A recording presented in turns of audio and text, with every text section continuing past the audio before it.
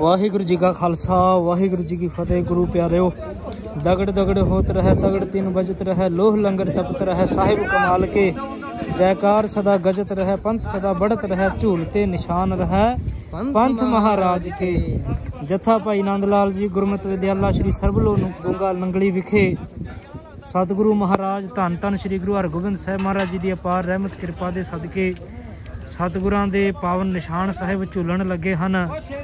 ਸਤਿਗੁਰੂ ਮਹਾਰਾਜ ਪਾਤਸ਼ਾਹ ਜੀ ਦੀ ਅਪਾਰ ਰਹਿਮਤ ਕਿਰਪਾ ਦੇ ਸਦਕੇ ਸ੍ਰੀ ਮਿਸ਼ਲ ਸ਼ਹੀਦਾਂ ਤਰਨਾ ਦਲ ਸ੍ਰੀ ਬਾਬਾ ਬਕਾਲਾ ਸਾਹਿਬ ਜੀ ਦੇ 16ਵੇਂ ਜਥੇਦਾਰ ਸਿੰਘ ਸਾਹਿਬ ਬਾਬਾ ਜੀ ਬਾਬਾ ਜੋਗਾ ਸਿੰਘ ਸਾਹਿਬ ਜੀ ਦੀ ਸਰਪ੍ਰਸਤੀ ਹੇਠ ਗੁਰਮਤਿ ਵਿਦਿਆਲਾ ਸ੍ਰੀ ਸਰਬਲੋ ਗੁੰਗਾ ਨੰਗਲੀ ਵਿਖੇ ਸਤਿਗੁਰਾਂ ਦੀ ਰਹਿਮਤ ਕਿਰਪਾ ਦੇ ਸਦਕੇ ਅੱਜ ਪੰਥ ਦੀ ਰਹਿਨੁਮਾਈ ਦੇ ਹੇਠ ਸਮੂਹ ਨਿਹੰਗ ਸਿੰਘ ਜਥੇਦਾਰਾਂ ਸਿੰਘ ਸਾਹਿਬਾਨਾਂ ਦੀ ਰਹਿਨੁਮਾਈ ਹੇਠ ਸਤਿਗੁਰੂ ਮਹਾਰਾਜ ਜੀ ਦੀ ਅਪਾਰ ਕਿਰਪਾ ਸਦਕਾ ਸ਼੍ਰੀਮਾਨ ਸੰਤ ਗਿਆਨੀ ਗੁਰਵਿੰਦਰ ਸਿੰਘ ਜੀ ਖਾਲਸਾ, ਸ੍ਰੀ ਸਰਬਲੋ ਬੁੰਗਾ ਨੰਗਲੀ ਵਾਲਿਆਂ ਦੇ ਸਿਰ ਤੇ ਮਹਾਰਾਜ ਜੀ ਨੇ ਅਪਾਰ ਰਹਿਮਤ ਕਿਰਪਾ ਕੀਤੀ ਹੈ।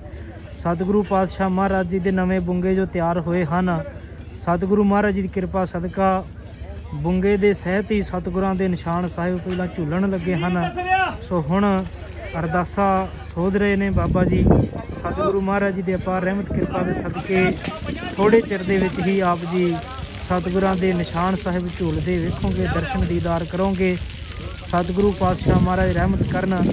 ਇਸੇ ਤਰ੍ਹਾਂ ਸਿੰਘ ਸਾਹਿਬ ਬਾਬਾ ਸੁਖਾ ਸਿੰਘ ਜੀ ਮੰਨਣਾ ਵਾਲੇ ਸਿੰਘ ਸਾਹਿਬ ਜਥੇਦਾਰ ਬਾਬਾ ਬਲਵੰਦਰ ਸਿੰਘ ਜੀ, ਇਸੇ ਤਰ੍ਹਾਂ ਸੰਤ ਗਿਆਨੀ ਮਹਿਤਾਬ ਸਿੰਘ ਜੀ ਭੰਬੋਈ ਵਾਲੇ ਤੇ ਹੋਰ ਵੀ ਗੁਰਮੁਖ ਪਿਆਰੇ, ਰੱਬ ਦੇ ਪਿਆਰੇ ਪਹੁੰਚੇ ਹੋਏ ਹਨ।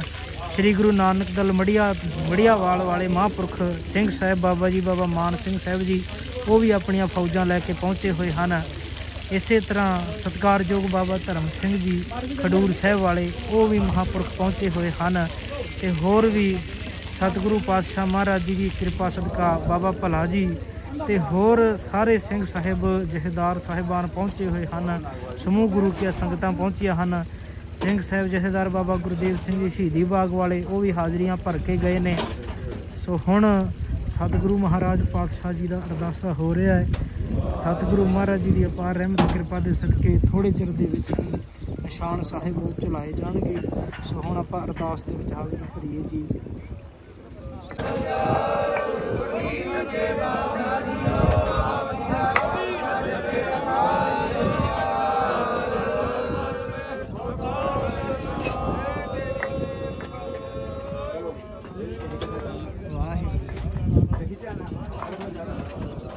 Bye.